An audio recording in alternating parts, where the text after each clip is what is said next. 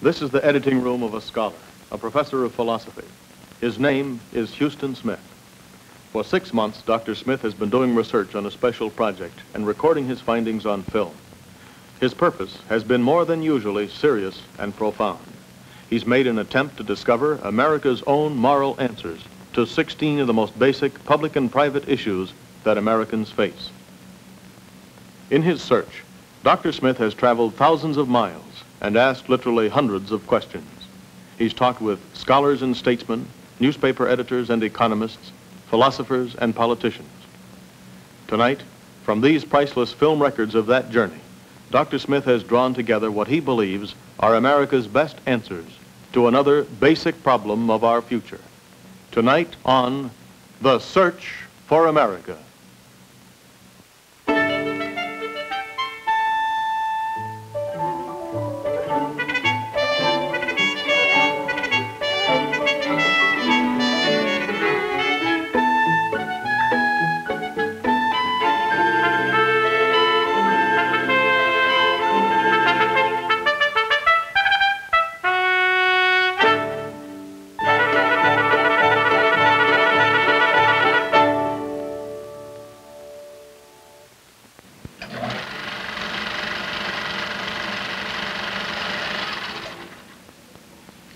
I'm Huston Smith. The object of our search tonight is the United States and Russia. The question, what is or should be America's relationship to the Soviet Union?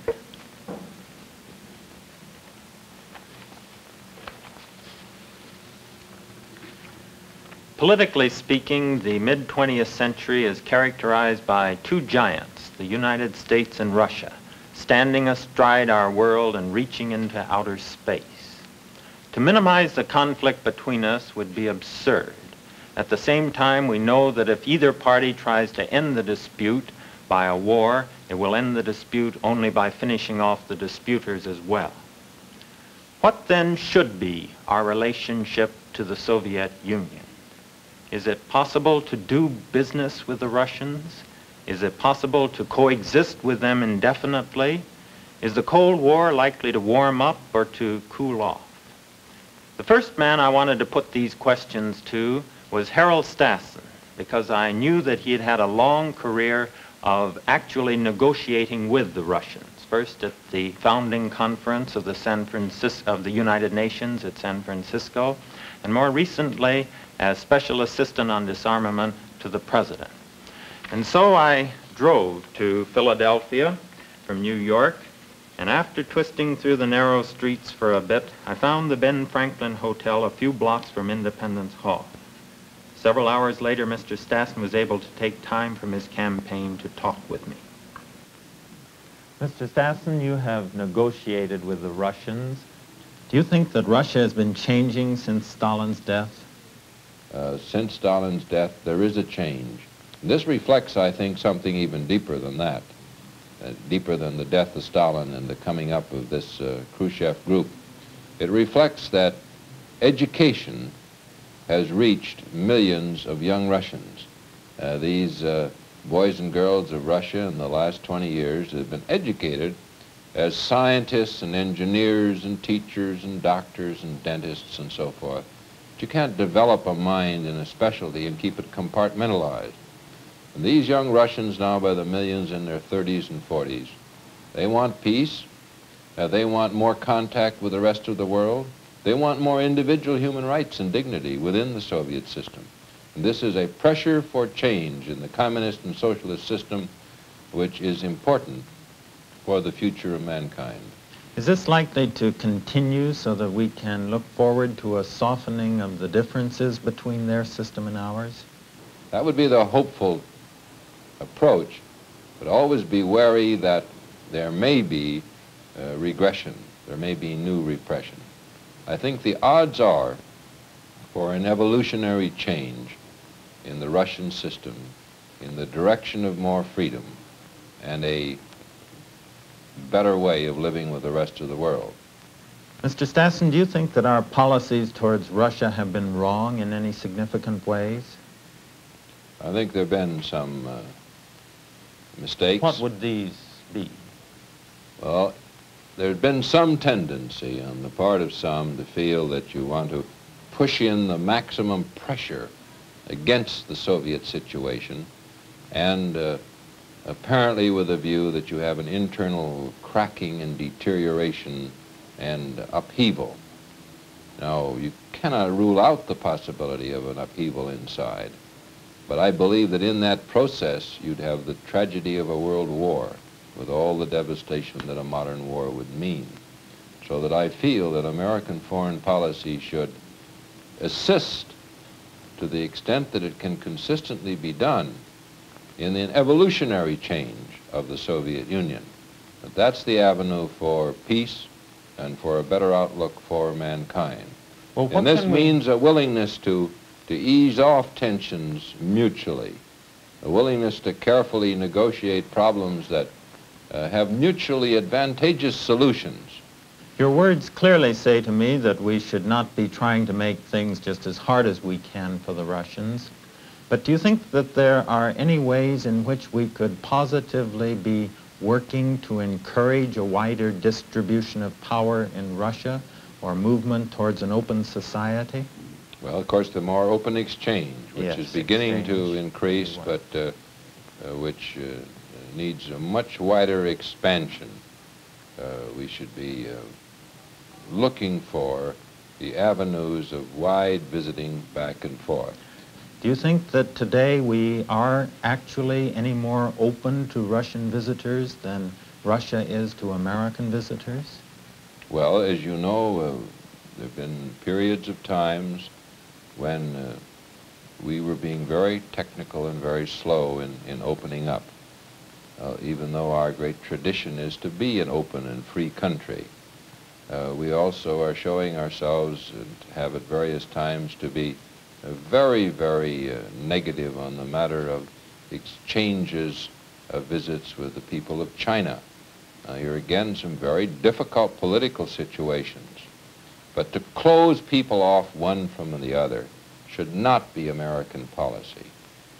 We, we, we, if we hold true to the basic concepts of freedom and that peoples have uh, spiritual value, uh, then uh, we should be open toward other peoples, even though there are unresolved, deep differences of political systems.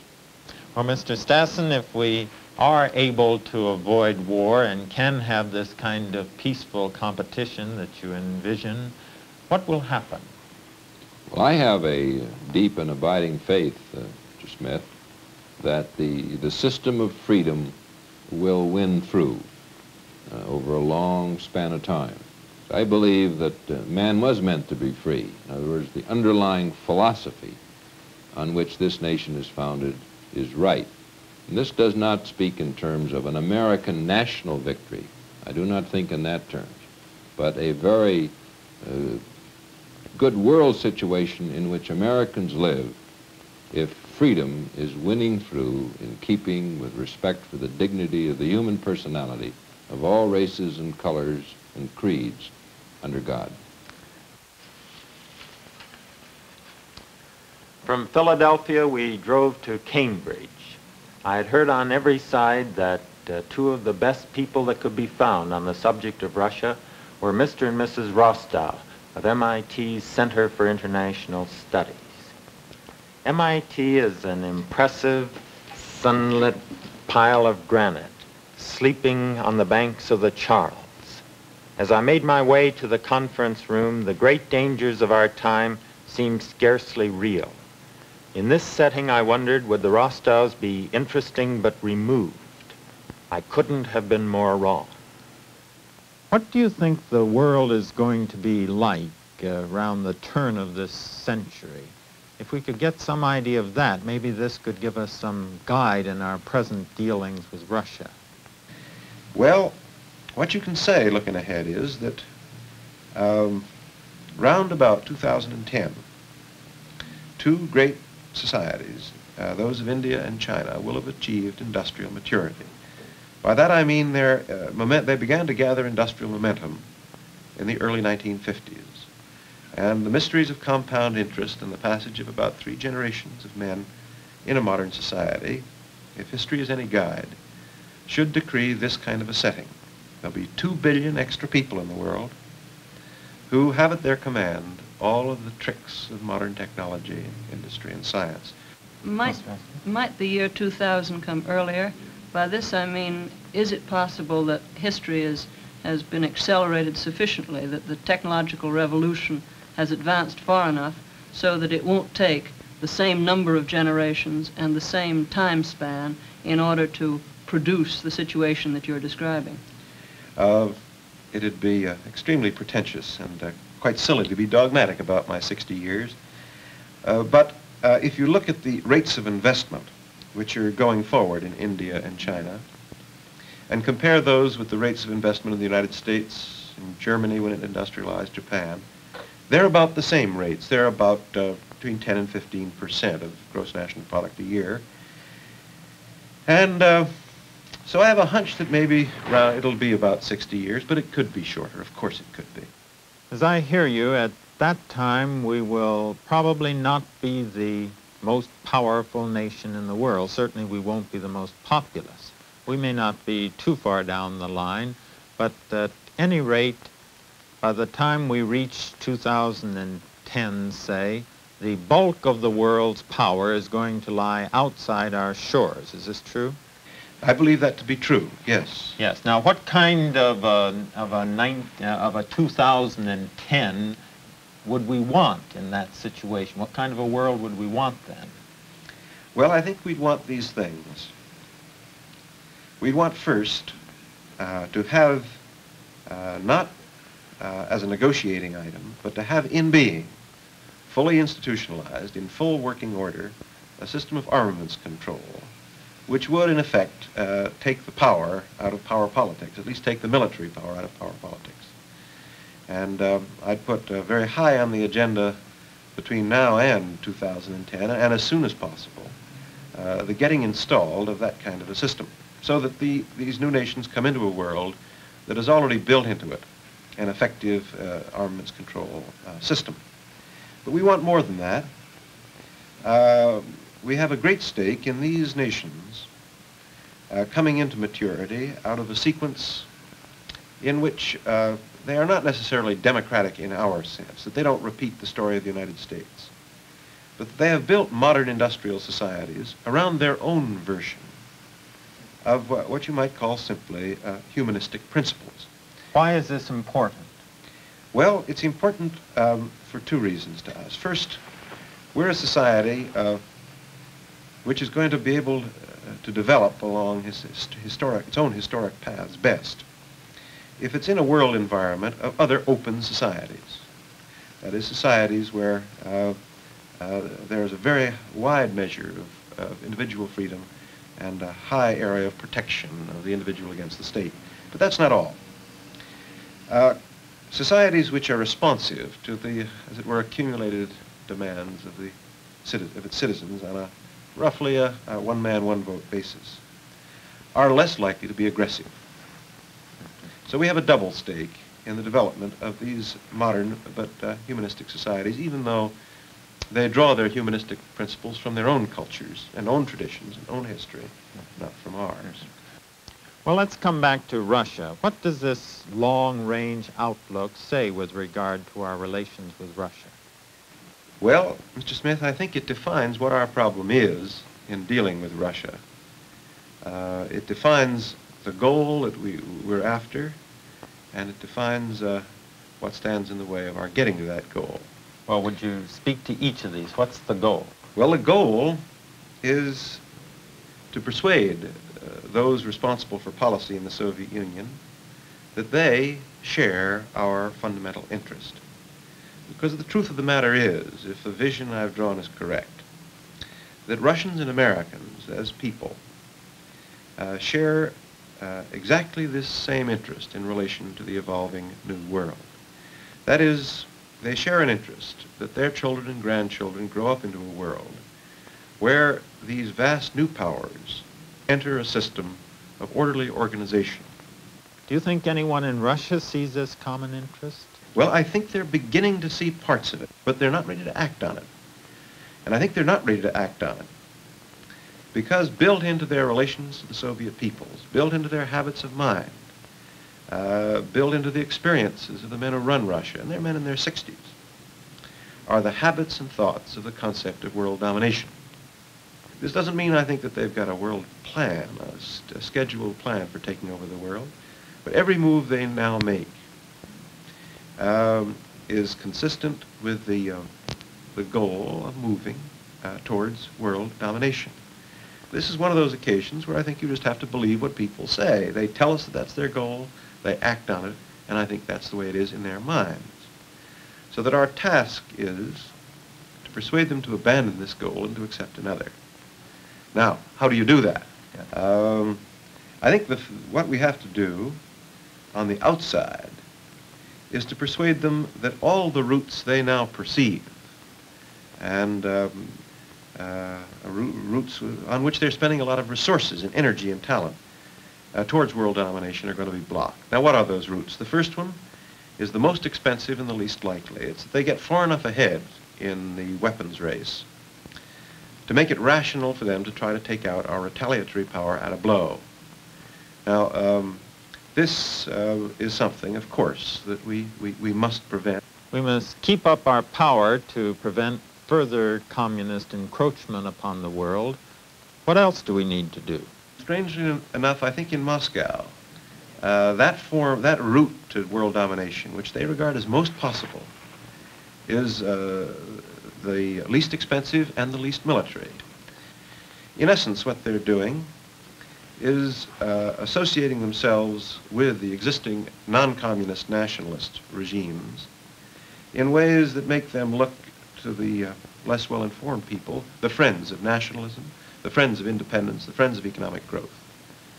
But uh, diverting that nationalism in ways that are going to slow down uh, economic development uh, and social development, and in the meanwhile, building up a communist, a local communist base on uh, this uh, proposition that only communists uh, have the secret and only communist tricks of organization can take a society rapidly into modern economic and social status. What they're doing with Nasser, for example, is tempting him into all sorts of uh, uh, nationalist diversions. Meanwhile, the Communist Party of Egypt has been working uh, to undercut Nasser by telling the people, of course, this man cannot deliver uh, in terms of economic and social progress. Well, this is where foreign aid comes in. The purpose of foreign aid is, uh, strangely enough, uh, not basically an economic in my view. It's certainly not uh, to outrace the Russians in some sort of a numbers racket with their economic assistance programs. The purpose of foreign aid is to offer a powerful and stable incentive to the politicians in the underdeveloped areas of the free world to focus the energies and talents and resources of those areas on the difficult but possible job of modernization. Because what the communists are counting on is frustration, frustration with economic and social progress. So that um, my conclusion is that uh, we must block uh, Soviet military strength at all its levels, large and small. Um, and we must block that other route, uh, the route to power uh, via the frustration of the ambitions in Asia, the Middle East, and Africa. And uh, I think with those three major routes to world domination blocked by our policies, both military and constructive, that uh, we might have the setting uh, to begin more directly the job of persuasion. Well, these, as you say, are have been blocking actions uh, to prevent the expansion of Russia's power. What should be our approach, Mrs. Rostow, to Russia itself? Mr. Smith, I'd, I'd start by saying that we should continue to do what I believe we have effectively done in the past, which is to hold open to Russia at all times a door to negotiations. It's important, for example, that we remain within the United Nations, that we leave always available that particular area within which a negotiation should take place, that we make it perfectly clear to the Russian people that ours is not a commitment to world domination, that our ultimate goal is not to dictate to Russia the precise terms of her future organization, but rather to give to the Russians for the first time in recent history, the opportunity of determining this for themselves. Mrs. Rostow, do you think that there's any likelihood that Russia will become a more open society than she has been since her revolution? This is really a question of, of whether or not we will get back to that old and rather abused phrase, uh, a self-determined world. If, if Russia were freely to choose her own form of society, I have considerable confidence that it would not be a police state. As long as the conditions for, for the maintenance of power of, of, of the communists remain in Russia, I don't see how you can, you can have much optimism for a complete reversal of the internal conditions. In other words, my, my answer, Mr. Smith, to, to the question is that we can't, we can't afford to be too hopeful about Russia in the short run, but we have every reason to be hopeful about Russia in the long run if we meet some of the conditions.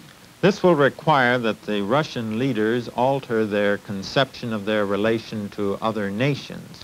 Will it also require that they alter their relation to their own people? Well, in my view, uh, and this view is not necessarily shared by everyone, it's exactly this problem which now prevents us, in this generation of Russian leaders, from having an armaments control agreement. I think that in three ways, an armaments control agreement would alter the basic historic relation of communist Russians to the Russian peoples. First, uh, they would have to go to their peoples and say their security no longer depended upon their maintaining this garrison fortress against a hostile capitalist world that their security depended on maintaining an agreement with the capitalist world. And this would profoundly undercut the whole domestic basis for a police state. Secondly, no matter how carefully you try to economize on inspection, and inspectors are going to be a nuisance, still any workable system that's going to cut down the risks of war is going to involve a lot of fellows wandering around your country pretty much with the freedom of bank inspectors. And well, this... Khrushchev's image is more vivid. He said, we don't want to invite you into our kitchen. That's right. And this is a this is and this is a this was a very honest, uh, compulsive statement of uh, of Khrushchev's. Uh, uh, he said something the same thing. We don't want to, we don't want to fly in your sky. We don't want you flying in our sky. But this goes to the very heart of the nature of a communist control over its citizenry, which depends on people not wandering without controls, without guides uh, throughout the society. They, they, this is not an open society. No matter how many visitors go on the the trek from Moscow to Leningrad to Samarkand and back. That's, that's rigged, that's fixed, and that they can control. But the third thing is this. You enter an arms control system and you cut down the military budget. Russia, historically, is now teetering on the edge, if you like, of the Flivver or the Volkswagen. They're rich enough to afford suburban housing and mass automobiles and the gadgetry which obviously the Russian people yearn for. But you start that on the road uh, to uh, consumers' goods and services. And uh, I think the effects on communism as we've known it would be explosive. Um, simply because the central issues, uh, it would be an admittance that life no longer had to be austere, that the human ambitions for a more decent life were legitimate. So that I think that the real problem they face in accepting an armaments control system is of finding a new relationship to the Russian peoples. Mrs. Rostow, is there anything that we ought to be doing by way of providing an example of a free society for Russia to look at? You bet there is. I think that the, the hesitancy that we have in showing off our goods to the world is something that we might, we might change. It's all very well to be modest, but it would be, I think, a useful exercise for Americans to give the world a demonstration of, of self-confident democracy. For example, we should not be hesitant in allowing in students and visitors who have a reason to come to this country and letting them see exactly what America is, the bad with the good. We stand to lose nothing by this because I know of very few tourists to this country over time who have not emerged with a, an awed sense of the, the complexity and, in a sense, the health of this society. Mr. Rostow, would you like to add anything on this question? My feeling about uh, this range of issues that we've talked about, long and short, is that Americans uh, who uh, are going to live and bear some responsibility as citizens over the next decade We'll be living in one of the most wonderful times, um, uh, of any generation uh, of which I know. One of the most dangerous, and one of the most challenging, because it's sometime in the next decade, in my view, that this arms race has got to be settled. I think either the world's going to blow itself up or it's going to figure a way to handle these things. If that's right, then this is the decade, this is the decade or so in which the Russians decide uh, that uh, uh, world domination's uh, a hophead dream and that they're going to settle down as a nation. And it's in this decade that India and the race between India and China as examples for underdeveloped nations is going to come to crisis. Either the Indian second five-year plan is going to succeed uh, with our help and the help of the West, or it's going to fail. If it succeeds, in my view, it's going to look better than the Chinese Communist plan. And a vast change in the view of communism in the underdeveloped areas will occur. If it fails, the rather mediocre performance in communist China is going to look awfully good. So in these three great uh, areas, the next decade is going to see big answers emerge. Uh, how they emerge depends on whether this generation of Americans is willing to focus uh, not only its resources, and it'll take resources, but its best minds, its talents, its thoughts, and uh, its idealism on this range of problems.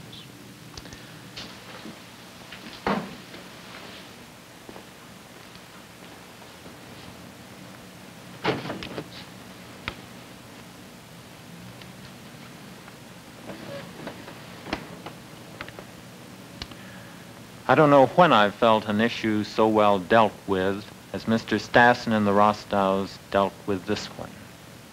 What should be our policy towards the Russians?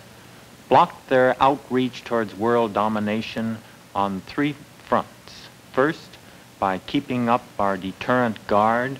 Second, by developing a task force to keep them from chewing off nations through brush fire or guerrilla warfare.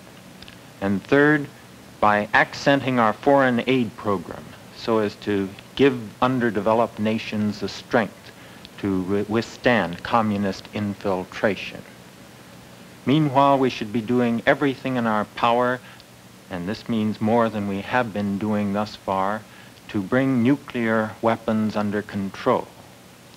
If, in addition, we could provide a compelling vision to the rising generation of Russians as to the rewards of a truly free society, this too will help them to, react, to relax their own way of life.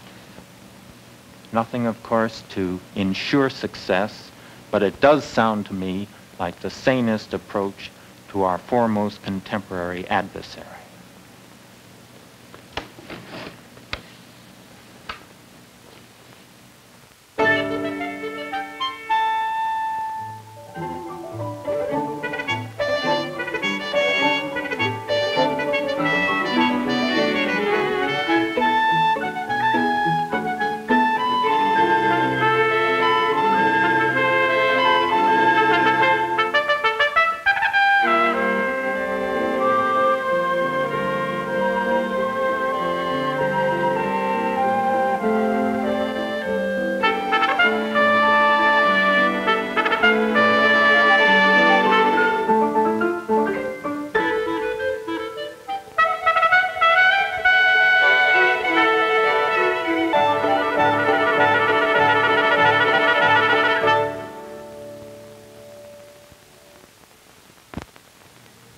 This is National Educational Television.